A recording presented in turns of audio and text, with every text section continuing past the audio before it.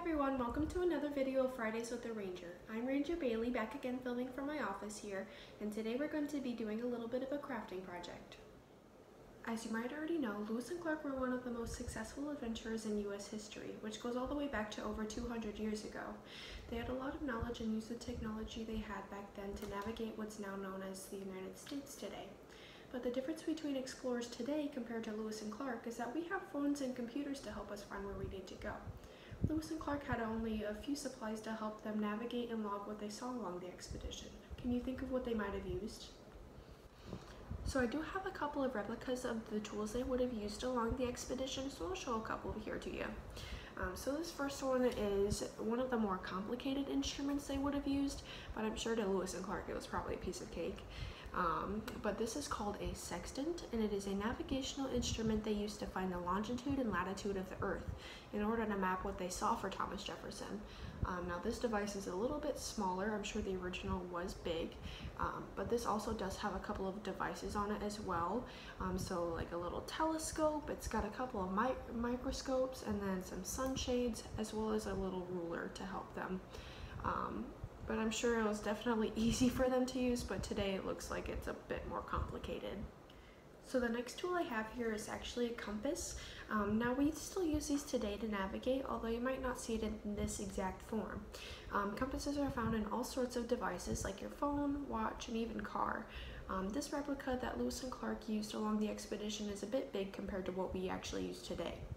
Um, so the actual compass sits in a wooden box like this um, to help prevent further damage of the glass that it sits in. Um, it was also made out of silver and brass to give it that shiny look. Um, and then they really use these to navigate everywhere, um, down the rivers, over the mountains, and just to make a safe journey back home. Now this next tool has got to be one of my favorite. Um, you might recognize it as what pirates use to see far away. Now Lewis and Clark unfortunately were not pirates, but they still use the telescope for the same reasons. Um, this instrument is made up of different sections of metal which made it retractable and easily stored.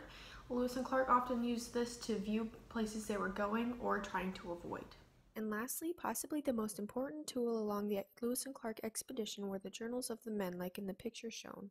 Without the journals the men carried, we would have never known the vast information the men of the expedition experienced across the new land they had just acquired in the Louisiana Purchase. These journals were mainly made from elk skins and were bound together with string to secure what they had written inside.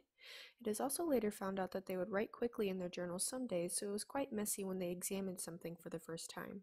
But once they had stopped for the evening or had time, they would often expand in further detail and better handwriting what they had seen days prior. What they carried throughout the day were called field journals, then later written in with their quill pens and ink, or preferably pencils to make it easier. With all the new kinds of information about the native tribes, land, and species that Lewis and Clark recorded in their journals along the expedition, this created many opportunities for scientists to observe new ways of learning. This is why it's so important to ask questions. Without Lewis, Clark, and the many other scientists of the world asking questions, we wouldn't have all the information we have today to the extent of learning new things. Um, and with that, today I will be teaching you how to make binoculars and journals just with objects from your own home. With these two tools, you'll be able to step into the shoes of Lewis and Clark and become your own kinds of scientists. You can even log what you see, hear, smell, and even touch, much like how the men of the expedition did.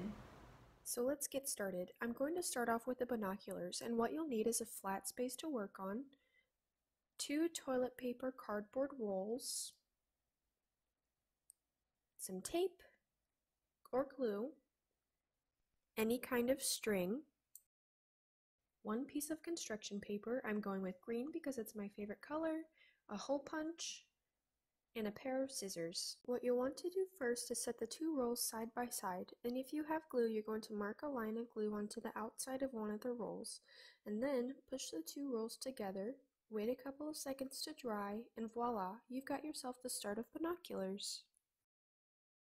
For an alternative of glue, we can also use tape.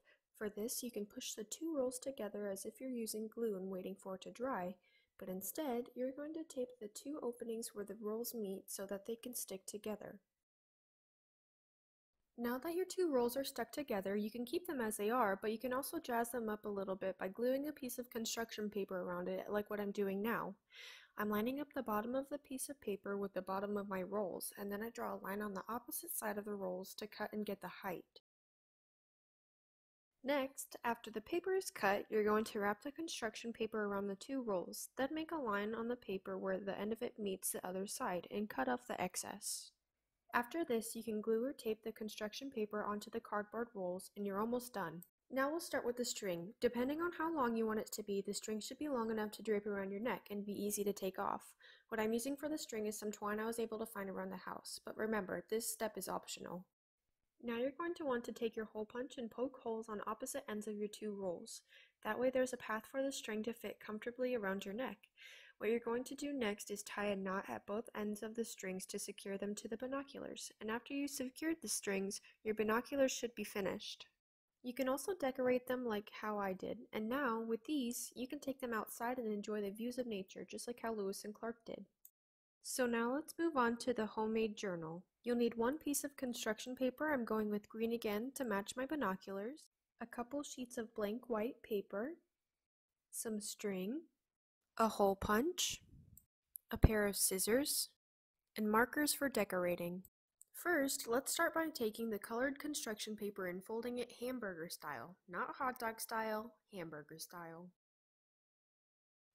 After this, you're going to take a couple of sheets of the white construction paper and marking them where the middle is. Then you're going to take your handy scissors and cut down the middle. That way when you fit them into the book, they match perfectly.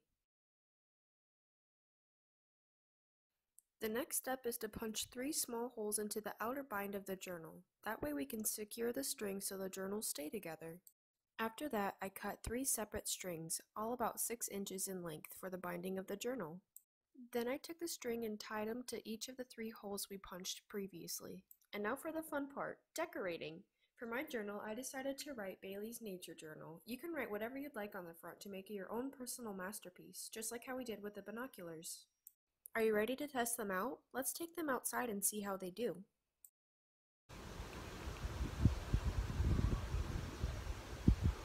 Hey, sorry, didn't see you there.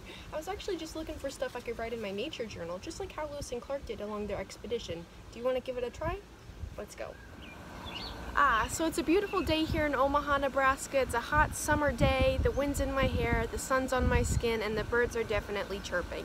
And just imagine, this is how Lewis and Clark would have experienced it on their own journey as well. And you can even give it a try for yourself and write it in your journal as well.